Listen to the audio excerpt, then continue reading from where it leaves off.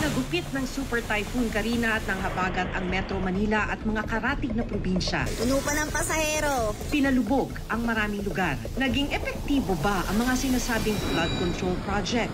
Reporter's Notebook